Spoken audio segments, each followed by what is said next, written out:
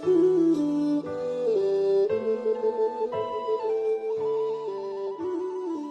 ើយើងប្រជែងនឹងអ្នកដតីគិតចង់តែពីឈ្នះយើងនឹងជួបប្រទះនៅការចាញ់តែបើយើងព្រមព្រៀងគ្នាជាមិត្តសម្លាញ់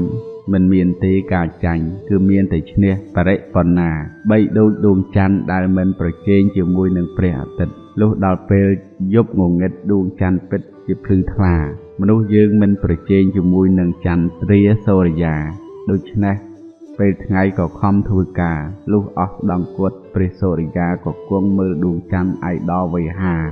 គ្មានបញ្ហាវិវាទអ្វីឡើយស្អប់អ្នកក្រៅខ្លួនបាបពួនក្នុងចិត្តស្អប់ខ្លួនឯងពិតជីវិតអត់ន័យ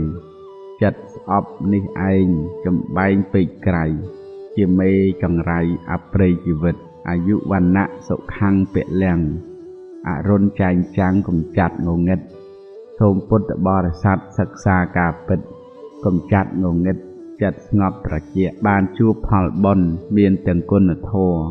បារមីបវរធัวមិនជំពាក់ទានសិលភាវនា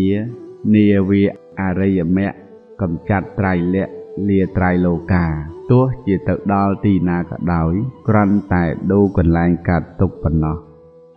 រៀនកំណត់ដឹងធម៌ក្នុងបច្ចុប្បន្ននិងទទួលយកដោយបញ្ញា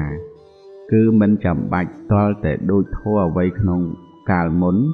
ហើយក៏មិនចាំបាច់ប្រាថ្នាពួកធម៌ដតីអ្វីទៀតដែរដែលមិនតាន់មកដល់នោះរស់នៅជាសុខជាមួយនឹងធម៌ដែលកំពុងប្រកបតែមិនមែនសុខព្រោះ ធម៌នោះជាទីពេញចិត្តទេ គឺសុខព្រោះបញ្ញាកំណត់ដឹង មិនវង្វេងហួងហែងមិនវង្វេងប្រទុះរីឯសភាវៈធម៌ដែលកំពុងប្រកបនោះទោះជាធម៌អ្វីក៏ដោយចុះមិនជ្រើសរើសឡើយសេចក្តីសុខមិនចាំបាច់កលតែធ្វើធំដុំទៅនោះទេ ទោះបីសុខបន្តិចបន្តិចរាល់ថ្ងៃនេះក៏ល្មមហើយដែរឲ្យតែប្រះចាក់ទោស កុំឡើយយកជីវិតទាំងមូលបេះដូងទាំងដុំរបស់យើង ទៅឲ្យអ្នកដតីណាណា